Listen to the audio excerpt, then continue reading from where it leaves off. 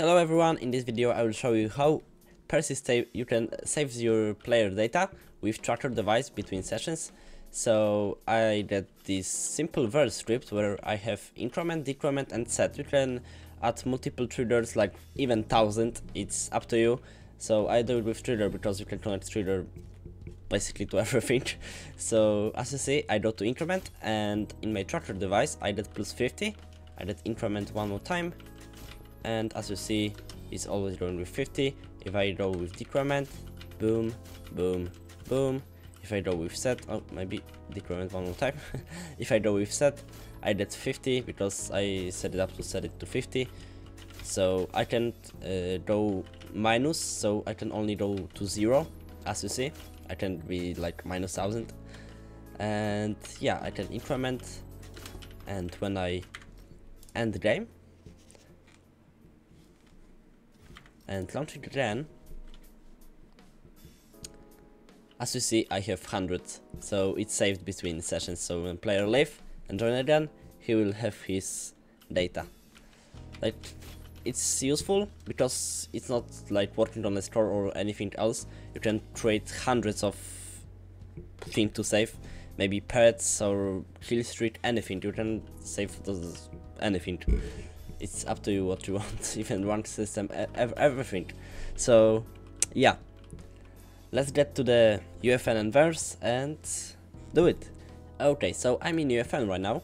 So first things we can talk about how we will save those data. So let's go to our content browser go to devices and search for tracker. As you see we have the tracker device where we can put the value so let's maybe do the bidder okay and we have start to track eliminations. We have a lot of stats to track but today we will focus on events.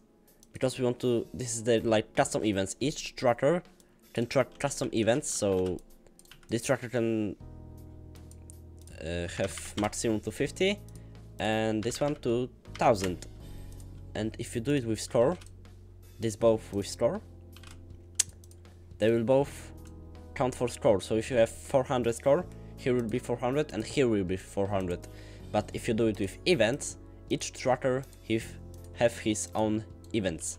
So this tracker can have 200 and this can have 800. So events is like the custom ones. So it's also really really really helpful. And next things, uh, it's good if you set when target is reached you do nothing because if you even set the target value live to 10 because you forgot to set it up if you set the do nothing it will just tracker don't disable. I think if you set it complete tracker will just disable and boom you lost all your data. Uh, so do nothing you know. And yeah don't remove this device because it stored all your player data so if you remove it it's gone also so it's better to hide it somewhere. Okay and this is show on HUD if you want uh, show this HUD tracker HUD typically if you saving the, the, data with this you don't want this show of HUD so I will go with no and off. But for purpose of this video I will do with both and total because just to show you that the data is saving. And also you have amount charging on uh, on event it's like useful. We don't need that. We'll calculate it the different weight and also here you have use persistent. So this is the our saving data. So we need to check it up and select auto save and auto load so when player leave the game it will automatically save the data to this tracker and when player join the game it will automatically load his data. Okay. And that's basically it in our tracker device we can scale it to the normal okay? And go to the verse explorer. If you don't have it click here on verse and verse explorer and create the new verse file verse device and name it persistable system. You can name it whatever you want. If you have already script called like this just rename it. Okay wait let me grab my first okay. Mm, I will change the team little uh, um, not this one. Actually this one okay. And let's create our enum enum with trigger action types. This is the enum with increment decrement and set so we have three options increment decrement and set if you want to have like multiply or divide or whatever you can add it no problem. We will uh, focus on these three things. Okay? And let's create a manager data. So this is the class with concrete tag so this is basically the manager where we can add our triggers to manipulate the trigger uh, tracker value.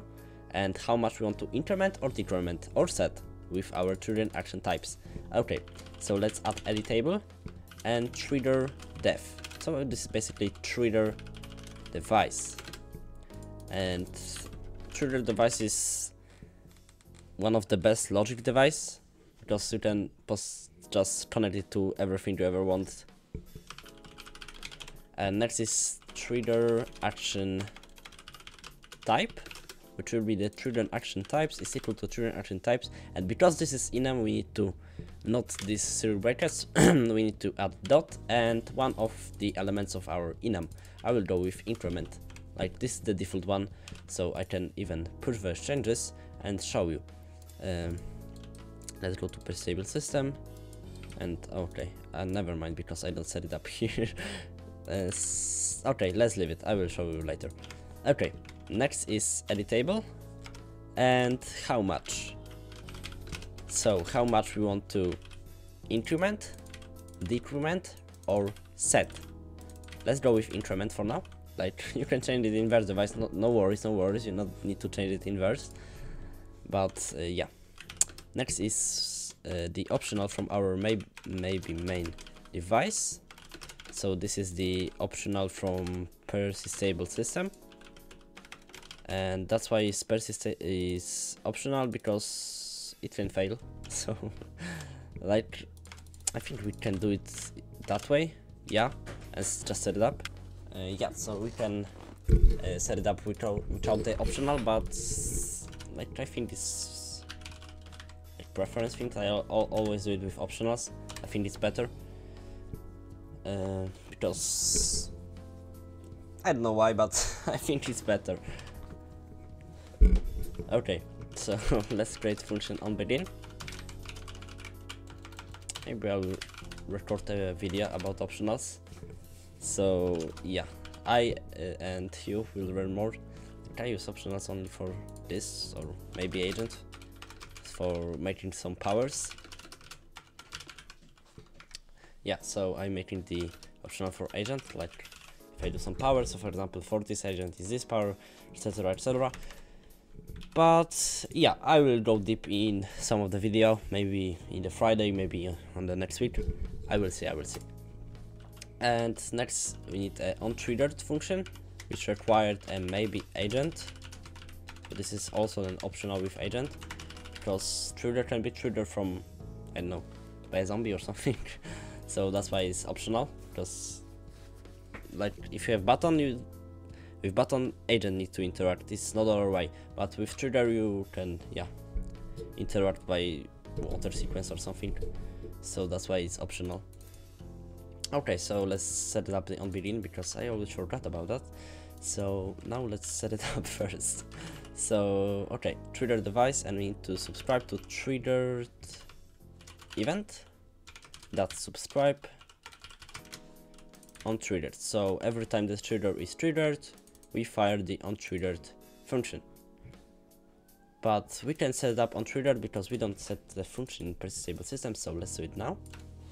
So first things we need to add editable and add our tracker device that we set it up before making the script. So tracker device, okay. And next we need editable and managers data, which will be the array of our manager data. Okay, now we can basically set up our onBegin because this is for loop and we need to for manager data. So we need to look through our all, all the managers. Okay. And set manager data. That maybe main I'll just copy this maybe main device. Is equal to option self. So we're basically assigning this persistable system to this device. So this device is our self. Okay. Next is manager data that on begin. Okay. And we need the function trigger action which require an agent, a trigger action type, which is the trigger action types, okay, and also the int value, so our how much, okay. So we can set it up this function right now because we created this function, not the inside the function, but uh, yeah.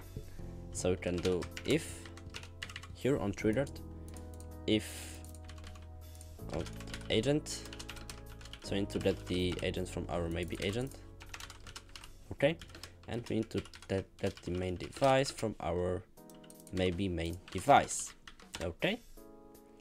And now we can fire this function so main device trigger action and we need to trigger for agent trigger action trigger action type and our how much oh okay. So let's set it up this function now. So we need to get the current value from our tracker first. So current value is our track device tracker device. Get value from our agent okay?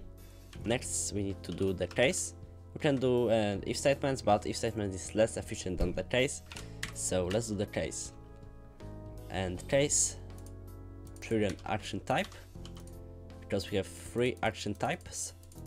So okay let's case through all. So increment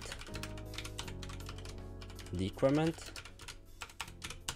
and set you need these arrows here like this after each of the type. And also if you for example add multiply and you don't want multiply in trigger action uh, or you have in enum basically or in case. For example you're looping looping through in value. You need to add the floor and after the floor this um, this arrow so this is basically like else in if statement. And you can add even 100 spaces. It's not matter. Okay so let's uh, delete the multiply. Okay and here we need to get the new value. So this is basically a current value plus in value. And we now need to go to tracker device set value for our agent and the new value if you're interested in read more about triggers like events and actions like functions you can click the control, like hold control and left mouse button click.